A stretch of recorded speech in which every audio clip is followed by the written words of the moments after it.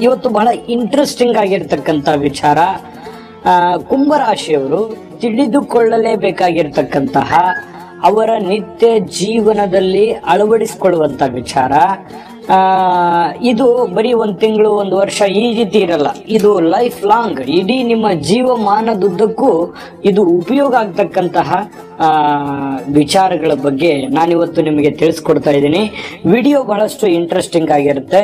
ನಾನೊಂದಿಷ್ಟು ನಿಮಗೆ ತಿಳಿಯುವ ರೀತಿಯಲ್ಲಿ ಸರಳವಾಗಿ ತಿಳಿಸಿಕೊಡುವಂತಹ ಪ್ರಯತ್ನವನ್ನ ಮಾಡ್ತಾ ಇದ್ದೇನೆ.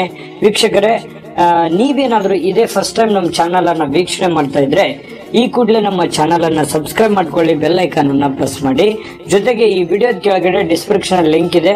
ಅಲ್ಲೂ ಕೂಡ ಹನ್ನೆರಡು ರಾಶಿಯವರು ಬಹಳ ಮುಖ್ಯವಾಗಿ ತಿಳಿದುಕೊಳ್ಳಲೇಬೇಕಾಗಿರ್ತಕ್ಕಂಥ ವಿಚಾರಗಳ ಬಗ್ಗೆ ವಿಡಿಯೋ ಇರುತ್ತೆ. ಅಲ್ಲೂ ಕೂಡ ಕ್ಲಿಕ್ ಮಾಡಿಕೊಂಡು ವೀಕ್ಷಣೆ ಮಾಡಬಹುದು. ಬನ್ನಿ, ಹಾಗಿದ್ರೆ ತಡ ಮಾಡೋದು ಬೇಡ. ವಿಡಿಯೋ ಸ್ಟಾರ್ಟ್ ಮಾಡೋಣ. ವೀಕ್ಷಕರೇ ಕುಂಭರಾಶಿಯವರು ಬಹಳ ಮುಖ್ಯವಾಗಿ ತಿಳಿದುಕೊಳ್ಳಬೇಕಾಗಿರತಕ್ಕಂತ ವಿಚಾರ ಏನಂತಂದ್ರೆ ಕುಂಭರಾಶಿಯಲ್ಲಿ ಯಾವ ಯಾವ ನಕ್ಷತ್ರಗಳು ಬರುತ್ತೆ? ಎಷ್ಟು ಚರಣಗಳು ಬರುತ್ತೆ? ನೋಡಿ, ಧನಿಷ್ಠ ನಕ್ಷತ್ರದ ಮೂರು ಮತ್ತು ನಾಲ್ಕನೇ ಚರಣ, ಶತಭಿಷ ನಕ್ಷತ್ರದ ನಾಲ್ಕು ಚರಣಗಳು ಮತ್ತು ಪೂರ್ವ ಭಾದ್ರದ ಮೊದಲ ಮೂರು ಚರಣಗಳು ಸೇರಿ ಒಂಬತ್ತು ಚರಣಗಳು ಕುಂಭರಾಶಿಯಲ್ಲಿ ಬರತಕ್ಕಂಥದ್ದು. ಇದನ್ನ ನೀವು ಗಮನದಲ್ಲಿಟ್ಕೋಬೇಕು, ನಿಮ್ಮ ನಕ್ಷತ್ರ ಯಾವುದು ಅಂತ. ಓಕೆನಾ? ಇನ್ನು ಈ ರಾಶಿಯ ಒಂದು ಲಾಂಛನ ಯಾವ ಪ್ರಕಾರದಲ್ಲಿದೆ ಅಂತಂದ್ರೆ ಬಿಂದಿಗೆಯನ್ನ ಹೊತ್ತಿರುವಂತಹ ಮಹಿಳೆ, ಸ್ತ್ರೀ. ಯಾಕಂತಂದ್ರೆ ಒಂದು ಕೊಡ ಅಂತ ಹೇಳ್ತೀವಿ, ಬಿಂದಿಗೆ. ಆ ಬಿಂದಿಗೆಯನ್ನ ಹೊತ್ತಿರತಕ್ಕಂತ ಸ್ತ್ರೀಯ ಚಿತ್ರವನ್ನ ಆ ಒಂದು ಲಾಂಛನವಾಗಿ ನೋಡಬಹುದು. ಇನ್ನು ಈ ಒಂದು ಕುಂಭರಾಶಿಗೆ ರಾಶಾಧಿಪತಿ ಯಾರು ಅಂತಂದ್ರೆ ಶನಿ. ಶನಿ ರಾಶಾಧಿಪತಿ ಆಗಿರ್ತಕ್ಕಂಥದ್ದು ಕೂಡ ಗಮನಿಸಬಹುದು. ಅದರ ಫಲಗಳನ್ನ ಒಂದಿಷ್ಟು ತಿಳಿಸ್ಕೊಡುವಂತ ಪ್ರಯತ್ನ ಮಾಡ್ತೇನೆ. ಇನ್ನು ಈ ಒಂದು ಕುಂಭರಾಶಿ ವಾಯು ತತ್ವದ ರಾಶಿ ಆಗಿರತಕ್ಕಂಥದ್ದು ಸ್ಥಿರ ರಾಶಿ. ಸ್ಥಿರವಾಗಿರ್ತಕ್ಕಂತಹ ಸ್ವಭಾವ ಒಂದೇ ಕಡೆ ಸ್ಟೇಬಲ್ ಆಗಿ ನಿಂತ್ಕೊಳ್ತಕ್ಕಂತಹ ವ್ಯಕ್ತಿತ್ವ. ಅಂದ್ರೆ ಅಲ್ಲೊಂದಿಷ್ಟು ದಿನ ಇಲ್ಲೊಂದಿಷ್ಟು ದಿನ ಈ ರೀತಿ ಇರಲ್ಲ. ಯಾಕಂತಂದ್ರೆ ಏನು ಒಂದು ತಾವು ನಿರ್ಧಾರ ತೆಗೆದುಕೊಂಡಾರೋ ಅಂತಂದ್ರೆ ಆ ನಿರ್ಧಾರಕ್ಕೆ ಕಟಿಬದ್ಧವಾಗಿ ನಿಲ್ಲುವಂತಹ ವ್ಯಕ್ತಿ ಸ್ಥಿರ ತತ್ವದ ರಾಶಿ ಆಗಿರ್ತಕ್ಕಂಥದ್ದು ಇನ್ನು ಈ ಒಂದು ಕುಂಭರಾಶಿಗೆ ಅದೃಷ್ಟದ ದಿನಗಳು ಯಾವುವು ಅಂತ ನೋಡಿದ್ರೆ, ಇದು ಬಹಳ ಮುಖ್ಯವಾದ ವಿಚಾರಗಳು. ಶುಕ್ರವಾರ ಮತ್ತು ಶನಿವಾರ ನಿಮಗೆ ಅದೃಷ್ಟದ ಉಪಯುಕ್ತವಾದ ದಿನಗಳು. ನೀವೇನೇ ಒಂದು ಒಳ್ಳೆ ಕಾರ್ಯಕ್ರಮ, ಕೆಲಸ ಏನೇ ಮಾಡಿದರೂ ಕೂಡ ಇದಕ್ಕೆ ಆದ್ಯತೆಯನ್ನು ಕೊಡಿ. ಈ ದಿನಗಳು ನಿಮಗೆ ತುಂಬಾ ಚೆನ್ನಾಗಿ ಸೂಟ್ ಆಗ್ತವೆ. ಇನ್ನು ನಿಮ್ಮ ಅದೃಷ್ಟ ದೇವತೆ ಯಾರು ಅಂತಂದ್ರೆ ಮೂಲವಾಗಿ ನೀವು ಪೂಜಿಸಬೇಕಾಗಿರ್ತಕ್ಕಂಥದ್ದು ಶನೇಶ್ವರ ಸ್ವಾಮಿ. ಶನೇಶ್ವರ ಸ್ವಾಮಿಯನ್ನ ನೀವು ಆರಾಧನೆ ಮಾಡ್ತಕ್ಕಂಥದ್ರಿಂದ ನಿಮ್ಮ ಎಲ್ಲ ಕಷ್ಟ ಕಾರ್ಪಣ್ಯಗಳು ನಿವಾರಣೆ ಆಗುತ್ತೆ. ನಿಮ್ಮ ಲಕ್ಕಿ ಗಾಡ್ ಅಂತ ಹೇಳ್ಬೋದು. ಇನ್ನು ಈ- ಕುಂಭರಾಶಿಗೆ ಯಾವ ಒಂದು ರಾಶಿ ರತ್ನ ಬರುತ್ತೆ ಅಂತಂದ್ರೆ ನೀಲಂ ಅನ್ನುವಂಥದ್ದು ಬರುತ್ತೆ ಕುಂಭರಾಶಿಗೆ. ಜೊತೆಗೆ ಈ ಕಾಲಪುರುಷನ ಅಂಗದಲ್ಲಿ, ಅಂದ್ರೆ ಒಂದು ಬಾಡಿಯಲ್ಲಿ ನಿಮ್ಮ ಒಂದು ಯಾವ ಸ್ಥಳವನ್ನ ಬಿಂಬಿಸ್ತದೆ ಅಂತಂದ್ರೆ ಕಾಲುಗಳು, ಕಾಲಪುರುಷನ ಅಂಗದಲ್ಲಿ ನಿಮ್ಮ ಅಂಗ ಯಾವುದು ಅಂತಂದ್ರೆ ಕಾಲುಗಳನ್ನ ಪ್ರತಿಪಾದಿಸ್ತದೆ. ಆಯ್ತಾ? ಇದು ಒಂದು ಪುರುಷ ಲಿಂಗದ ರಾಶಿ ಆಗಿರತಕ್ಕಂಥದ್ದು, ಗಂಡು ರಾಶಿ. ಆಯ್ತಾ? ಇನ್ನು ನಿಮಗೆ ಒಂದು ಮಿತ್ರ ರಾಶಿಗಳು ಯಾವುವು ಅಂತ ನೋಡಿದ್ರೆ, ವೃಷಭ ರಾಶಿ, ಮಕರ, ಮೀನ ರಾಶಿ ನಿಮಗೆ ಮಿತ್ರಗಳಾಗ್ತಕ್ಕಂಥದ್ದು. ಇನ್ನು ಶತ್ರು ರಾಶಿಗಳು ಯಾವುವು ಅಂತಂದ್ರೆ, ಮೇಷ, ಕಟಕ, ಸಿಂಹ ರಾಶಿ ನಿಮಗೆ ಶತ್ರುಗಳಾಗ್ತಕ್ಕಂಥದ್ದು. ವೀಕ್ಷಕರೇ, ನಿಮ್ಮಲ್ಲಿರ್ತಕ್ಕಂಥ ವಿಶೇಷವಾಗಿರುವಂತ ಕ್ವಾಲಿಟಿ ಏನು? ಏನು ನಿಮ್ಮಲ್ಲಿರುವಂತ ವಿಶೇಷವಾದ ಗುಣ ಅಂತಂದ್ರೆ ಸತ್ಯಾನ್ವೇಷಕರಾಗಿರ್ತಕ್ಕಂಥದ್ದು ನಂಬಿಕಸ್ಥರು, ನೀವು ಯಾರಿಗೆ, ನೀವು ನೀವು ಯಾರಿಗೂ ಮೋಸ ಮಾಡೋಕ್ಕೆ ಇಷ್ಟಪಡಲ್ಲ.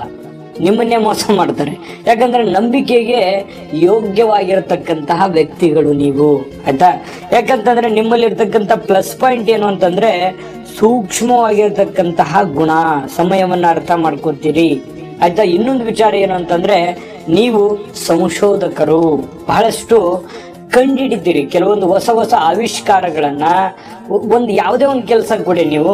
ಅದನ್ನ ಬಹಳಷ್ಟು ಡೆವಲಪ್ ಮಾಡ್ತಕ್ಕಂಥದ್ದು, ಇಂಪ್ರೂವ್ಮೆಂಟ್ ಮಾಡ್ತಕ್ಕಂಥದ್ದು. ಈ, ಯಾಕಂತಂದ್ರೆ ಇಲ್ಲಿ ನೋಡಿ ಎಷ್ಟೋ ಒಂದು ಜನ ಈ ಕುಂಭರಾಶಿಯವರು ಈ ಎಕ್ಸ್ಪೆರಿಮೆಂಟ್ ಮಾಡೋದ್ರ ಜೊತೆಗೆ ದಾನಿಗಳಾಗಿರ್ತಕ್ಕಂಥದ್ದು, ಧಾರ್ಮಿಕ ಆಸಕ್ತರಾಗಿರ್ತಕ್ಕಂಥದ್ದು ಕಷ್ಟ ಕಾಲದಲ್ಲಿ ಸಹಾಯ ಮಾಡುವಂತಹ ಗುಣ ಇವರಲ್ಲಿ ಬೆಳೆಸ್ಕೊಳ್ತಕ್ಕಂಥದ್ದು. ನೋಡಿ, ಇನ್ನು ಬಹಳಷ್ಟು ಜನ ಈ ರಾಜಕಾರಣದಲ್ಲಿ ಅಥವಾ ಸಂಘ ಸಂಸ್ಥೆಗಳಲ್ಲಿ ಕೆಲವೊಂದು ಶಿಕ್ಷಣ ಕ್ಷೇತ್ರಗಳಲ್ಲಿ ಕೆಲವೊಂದು ಸಾರ್ವಜನಿಕರಿಗೆ ಸೇವೆ ಮಾಡುವಂತಹ ಕೆಲಸಗಳಲ್ಲಿ ಎಲ್ಲಾ ರಂಗದಲ್ಲಿಯೂ ಕೆಲಸ ಮಾಡ್ತಕ್ಕಂಥದ್ದು. ಯಾಕಂತಂದ್ರೆ ಜ್ಞಾನ ಇದೆ ವಿಚಾರ ಇದೆ ಮತ್ತು ಸಮಯವನ್ನ ಅರ್ಥ ಮಾಡ್ಕೊಳ್ತಕ್ಕಂಥದ್ದು. ಬುದ್ಧಿವಂತರು ಅಂತ ಹೇಳ್ಬೋದು. ಒಂದ್ ಸಣ್ಣ ಕೆಲಸ ಕೊಟ್ಟರು ಕೂಡ ಅದರಲ್ಲಿ ಕಸದಿಂದ ರಸ ಅಂತ ಹೇಳ್ತೀವಲ್ಲ? ಹಾಗೆ ಆ, ಒಂದು ತುತ್ತು ತುದಿಗೆ ಯಶಸ್ಸಿನ ತುತ್ತು ತುದಿಗೆ ಮುಟ್ಟುವಂತಹ ಶಕ್ತಿ ಸಾಮರ್ಥ್ಯ ಬುದ್ಧಿ ಇವರಲ್ಲಿರ್ತಕ್ಕಂಥದ್ದು. ಬಹಳ ಸ್ಪಷ್ಟವಾಗಿ ಕಂಡು ಬರುತ್ತೆ ಇವ್ರು ಎಲ್ಲಾ ರಂಗದಲ್ಲಿ ಸಹಜವಾಗಿ ಗುರುತಿಸ್ಕೊಳ್ತಕ್ಕಂಥದ್ದು. ಆಯ್ತಾ? ಈಗ ನಾನು ನಿಮಗೆ ಇದುವರೆಗೂ ಕುಂಭರಾಶಿಯವರಿಗೆ ಪ್ಲಸ್ ಪಾಯಿಂಟ್ ಬಗ್ಗೆ ತಿಳಿಸ್ಕೊಟ್ಟಿದ್ದೀನಿ. ಇನ್ನು ಮೈನಸ್ಸು ಇರಲೇಬೇಕಲ್ವಾ? ಮೈನಸ್ ಏನು ಅಂತಂದ್ರೆ ಯಾವ ತಿಥಿ, ಯಾವ ವಾರ, ಯಾವ ಯೋಗ, ಯಾವ ಕರ್ಣ, ಯಾವ ಮಾಸ ನಿಮಗೆ ಮೈನಸ್ ಆಗುತ್ತೆ ಅನ್ನುವಂಥದ್ದು ಕೂಡ ತಿಳಿಸ್ತೀನಿ. ಇದು ಬಹಳ ಇಂಪಾರ್ಟೆಂಟ್ ಆಗುತ್ತೆ ನಿಮಗೆ. ನೋಡಿ, ಚೈತ್ರ ಮಾಸ ನಿಮಗೆ ಮೈನಸ್ ಆಗಿರ್ತಕ್ಕಂಥದ್ದು. ಇನ್ನು ಮೂರು, ಎಂಟು, ಹದಿಮೂರನೇ ತಿಥಿ ನಿಮಗೆ ಮೈನಸ್ ಆಗುತ್ತೆ. ಇನ್ನು ಗುರುವಾರ, ವಾರಗಳಲ್ಲಿ ಯಾವ ವಾರ ನಿಮಗೆ ಅಷ್ಟೊಂದು ಸೂಕ್ತವಲ್ಲ ಅಂತಂದ್ರೆ ಗುರುವಾರ ನಿಮಗೆ ಅಷ್ಟೊಂದು ಸೂಕ್ತವಲ್ಲ.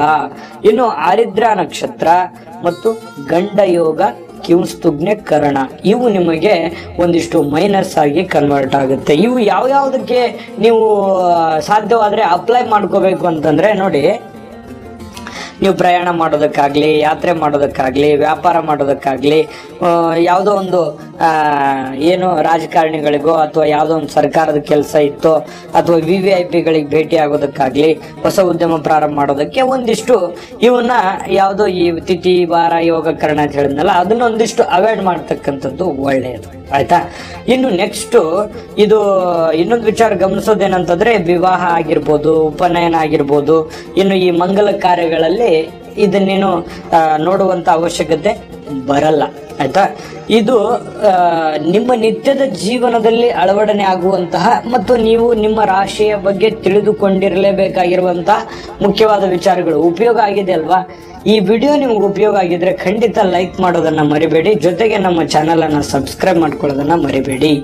ಮತ್ತು ಈ ವಿಡಿಯೋ ಕೆಳಗಡೆ ಡಿಸ್ಕ್ರಿಪ್ಷನ್ ಅಲ್ಲಿ ಲಿಂಕ್ ಇದೆ. ಅಲ್ಲೂ ಕೂಡ ನಿಮಗೆ ಹನ್ನೆರಡು ರಾಶಿಯವರ ಬಹುಮುಖ್ಯವಾದ ತಿಳಿಯಲೇಬೇಕಾಗಿರತಕ್ಕಂತಹ ವಿಚಾರಗಳ ಬಗ್ಗೆ ಅಲ್ಲೂ ಕೂಡ ನಿಮ್ಗೆ ವಿಡಿಯೋ ಸಿಗುತ್ತೆ. ನಿಮ್ಮ ನಿಮ್ಮ ರಾಶಿಗೆ ಸಂಬಂಧಪಟ್ಟಂತ ಮಾಹಿತಿಯನ್ನ ನೀವು ಕ್ಲಿಕ್ ಮಾಡಿಕೊಂಡು ವೀಕ್ಷಣೆ ಮಾಡಬಹುದು. ಒಳ್ಳೆಯದಾಗ್ಲಿ ವೀಕ್ಷಕರೇ, ಕುಂಭರಾಶಿಯವರು ಬಹಳಷ್ಟು ಶಾರ್ಪ್ ಅನ್ನುವಂಥದ್ದು, ಬಹಳಷ್ಟು ಬುದ್ಧಿಜೀವಿಗಳನ್ನುವಂಥದ್ದು ನಮಗೆ ಈ ಮುಖೇನ ಗೊತ್ತಾಗುತ್ತೆ. ಒಳ್ಳೆಯದಾಗಲಿ ತಾಯಿ ಅನ್ನಪೂರ್ಣೇಶ್ವರಿ ಸಕಲಷ್ಟ ಐಶ್ವರ್ಯಗಳನ್ನು ಕೊಟ್ಟು ಕಾಪಾಡಲಿ ಅಂತ ಪ್ರಾರ್ಥನೆ ಮಾಡ್ಕೊಳ್ತಾ, ಸರ್ವೇ ಜನ ಸುಖಿನೋ ಭವಂತು.